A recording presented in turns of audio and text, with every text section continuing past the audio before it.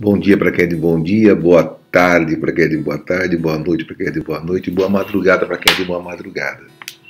Acordei cedinho, né? Tomei um café. Aí eu tava pensando nas coisas do reino de Deus, né? Pensando no reino de Deus, né? Não no reino deste mundo, não fico pensando na, no Lula, na, no, no Obama. Eu não fico pensando no, no Trump, Ronald Trump, né? Eu não fico pensando na, nessa loucura, esse movimento doido que está humano, né? De maldade, a maioria do coração das pessoas estão frio, né? As pessoas estão frias de amor, né? O, o, amor humano cada vez vai se esfriando mais, vão ficando mais robotizados, mais em rotinas, correndo atrás das coisas do reino deste mundo. Né? Aí eu fico pensando no reino de Deus, que é leve, é um jugo leve, né? Você vive é, se alimentando é, da vida eterna, que é uma fonte de vida, né? É, é fonte de vida eterna, é, é, leve, né? É uma paz que eu nunca tive, eu nunca tive essa paz. E tudo coopera para o nosso bem, porque Deus está controlando tudo, né? Mas Ele quer que nós vivemos no reino dele, na justiça dele, vivemos nele, né? Quando, quando você começa a viver nele, que isso é Ele que faz com a gente, você basta crer, né? E querer e pedir para Ele no seu quarto em secreto que você quer viver nele, por ele, para ele. Aí ele faz essa essa transformação da água para o vinho em você. Ele mesmo entra em você, ele mesmo faz, ele mesmo dá o amor dele, ele faz tudo, tudo vem dele. A graça vem dele e a fé vem dele. Tudo é dele. Nós não temos nada para dar para ele. Nada, nada para oferecer para ele. É ele que faz tudo, né? Eu pensando no reino de Deus, né? Então, Cristo desceu do céu, né? Porque antes Deus usou profetas para e homens e mulheres para falar de Cristo. Como fosse uma fonte de água, ele tem uma fonte de água, né? Então, Deus usou vários homens e mulheres para dizer que ele vai mandar uma fonte de água que vai ser uma água que você vai beber e é para a vida eterna. Ela vai ser uma fonte de água que vai estar dentro de você. Ela vai vir do céu, essa fonte de água, e ela vai ser colocada dentro de você, essa fonte de água. E os profetas sempre falando isso, porque nós estávamos no mundo de morte, né? Nós estávamos refém da morte, né? E Deus sempre usou vários homens, Moisés, Daniel, Ezequiel, eh, vários homens, João Batista, vários homens, antes dele enviar essa fonte de água que ele queria, o desejo de Deus é colocar essa fonte de vida eterna dentro de você. Aí, para te salvar dessa morte eterna, né? Que a gente estava sujeito à morte eterna. Então, hoje nós temos essa fonte de vida eterna que é o Filho de Deus que desceu do céu. Ele é a fonte de vida eterna. E os profetas sempre falaram desta fonte. E hoje em dia, na minha geração, que é a geração que está mais perversa, o coração da maioria está muito mais frio que antes, na época da minha avó, por exemplo, o coração da, do ser humano não era tão frio. Mas hoje em dia, a frieza dentro da própria casa, da própria família, do, do, né, os vizinhos, né? O, o, o, tudo nas escolas, no trabalho, onde você vai, você olhar humanamente, está todo mundo frio, o coração está frio de amor, entende?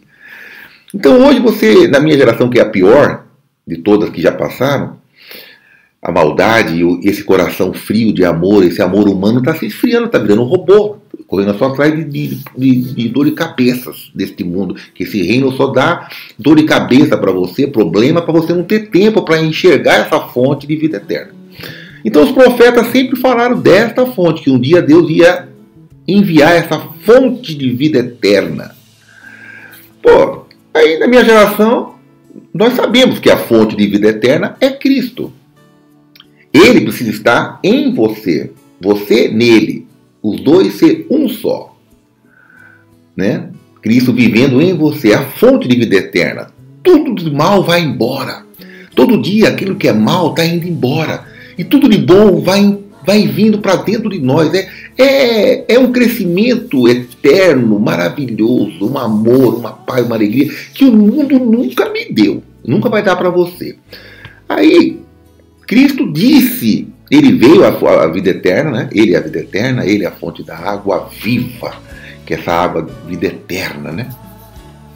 E ele disse que aquele que, que beber dessa água, aquele que comer desse pão, viverá por ele. Vai andar com ele. Igual você andar com uma pessoa, todo mundo vê você com aquela pessoa. Todo mundo vê, quando vê você, vê você com aquela pessoa. Então, aquele que se alimenta de Cristo, dessa palavra que ele falou, porque os profetas não tinham a fonte de vida, eles não eram a fonte de vida eterna. Moisés não era a fonte de vida eterna. Daniel não era a fonte de vida eterna. Entende? João Batista também não é a fonte de vida eterna. O apóstolo Paulo também não é a fonte de vida eterna.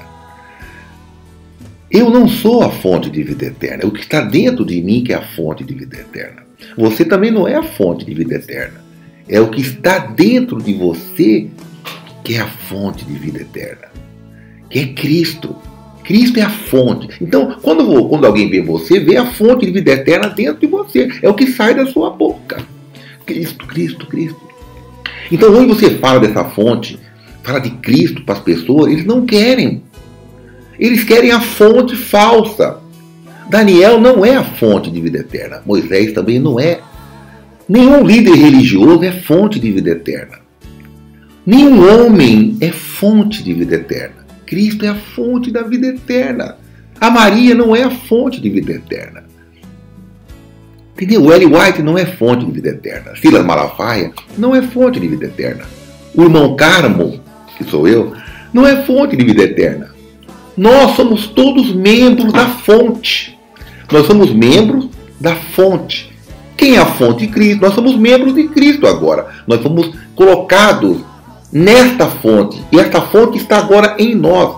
Somos um só, a fonte de vida eterna, porque nós se alimentamos do, do alimento que veio do céu, que é essa fonte de vida eterna. Moisés não é a fonte de vida eterna. Isso que nós precisamos ter essa coisa. Então, hoje as pessoas não querem mais andar com a fonte de vida eterna, querem andar com outras pessoas que não são fonte de vida eterna. Então, quando Cristo falou no, no capítulo 6, a multidão falou assim: pô, mas esse discurso é muito duro. E eles foram embora, abandonaram o Cristo. A multidão que tinha sido já beneficiada por milagres, é, multiplicação de pãezinhos, de peixinhos. Cristo fez tantos milagres, mas eles estavam atrás dessa fonte de vida eterna por causa dos milagres, não por causa da fonte de vida eterna. Entende? Então hoje em dia você fala para as pessoas que convivem, a pessoa que convive comigo, por exemplo, eles ficam com raiva ele fala que esse discurso meu é muito duro. Quando eu falo muito de Cristo, eu falo muito de Cristo. E é necessário eu diminuir para que essa fonte cresça.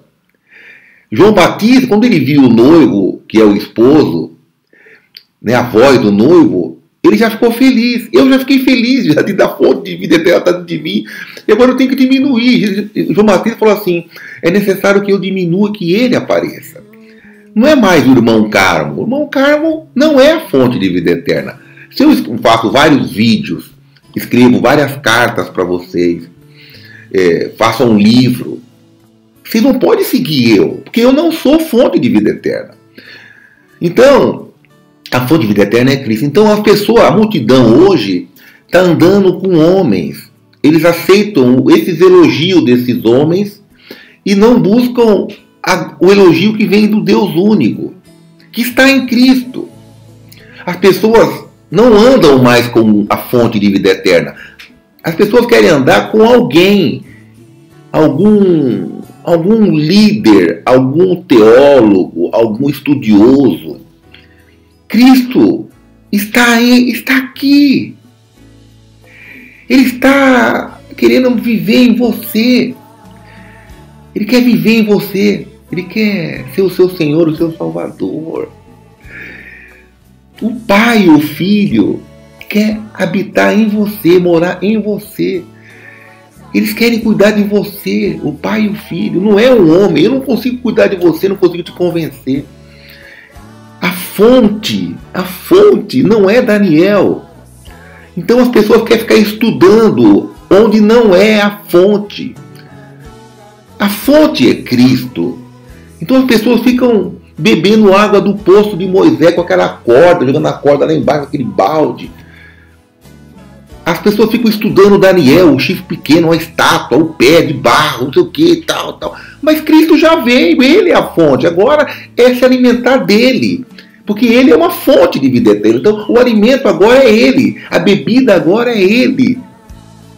E tudo que é mal que estava dentro de nós, aquele vazio que existia em mim, por exemplo, não existe mais. Porque esse vazio que todos nós sentimos é o lugar onde Deus quer habitar. Esse vazio agora não existe mais dentro de mim. E todo mal cada dia vai indo embora. E a alegria vai aumentando, a paz, o amor de Deus vai crescendo em cada um de nós, irmão. Essa é a nova aliança, uma aliança de relacionamento, de, de, de, de, ser um só agora. Você e Deus Pai e Deus Filho, que é o Pai e o Filho, quer ser um só em você. Olha, é tão simples. Por que, que nós precisamos andar com outras pessoas e virar as costas para Cristo, conforme a multidão fez? Ficou só os doze ali com ele. Porque só ele falava de vida eterna. As pessoas não querem ouvir falar de vida eterna. Estão esperando uma vida eterna lá na frente. Agora é essa vida. Vamos viver essa vida aqui. Então aí acha um líder, um teólogo, um estudioso, vamos estudar, vamos estudar, vamos estudar, vamos estudar. Mas agora não é estudar, é se alimentar, é beber dessa, dessa fonte, que é uma fonte de amor e de vida eterna. Essa é a fonte. Amém, irmão? Deus abençoe. Deus abençoe vocês. Fica chateado comigo, não. Eu amo falar da fonte da vida eterna, que é Cristo. Cristo. Cristo é o amor de Deus. Cristo é o nosso Salvador, nosso Senhor. Amém, irmãos? Deus abençoe vocês. Amém?